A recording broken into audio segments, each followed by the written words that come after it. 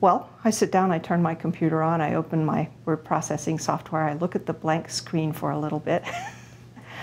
I, I think I should, I should sit down and make a detailed outline, but usually I just start writing. I think it's important to get stuff down and not worry initially about how nice it looks or how organized it is. Just get your thoughts down. But I do think that it's, it's helpful sometimes to start by writing the title in the abstract. And of course, these are not final. I actually come back and change them many times, and the abstract obviously has to reflect the final version of the paper, not your initial random thoughts.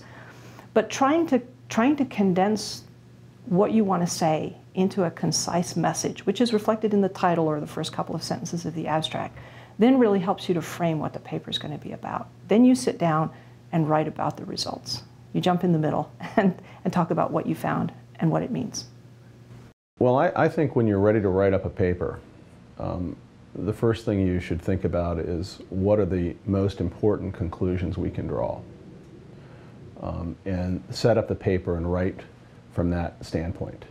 So I always say don't write an introduction that sets up the reader for disappointment. Uh, promise to solve a lot of problems that you're not going to solve in the paper. Um, that's usually a recipe for, for failure.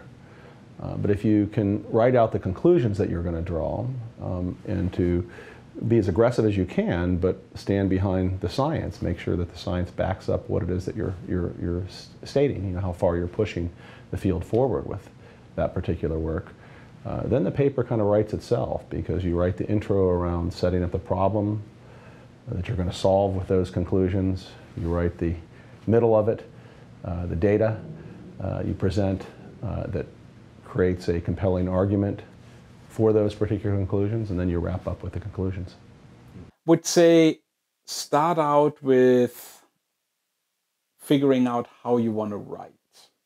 So my experience is people, there's two kinds of people there. One which think very graphically, pictorially, um, very common in organic chemistry.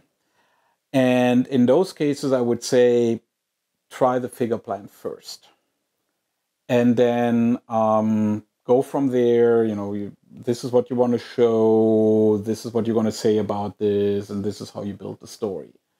Um, the other part, or the, the other kind of person, is really more mm, word oriented. And what I what I teach people in the writing workshop is basically take little flashcards, put one item on there, uh, and then put them out on the table and say, okay, you know, first I'm going to talk about this, and then I'm going to talk about that, and then I'm going to talk about that. Maybe this here isn't quite so important, so that can go into the supporting information and goes out. My number one piece of advice is make yourself do it.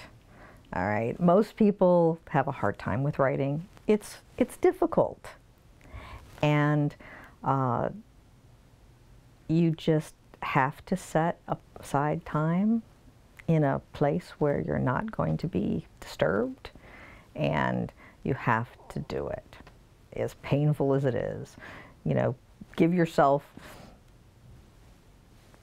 reasonable sized time things where uh, where you're going to work on it and then give yourself a break and come back to it all right I would say that most early career researchers have spent a decade or more learning to do research, and yet at the same time they feel that writing should be some natural uh, event that doesn't take practice. Writing uh, is just like research. The more you work at it, the better you'll be. And so work to make it better. That means work to make it faster, easier, and less stressful, and get feedback and try to work on that feedback so that you become more proficient uh, at writing effectively.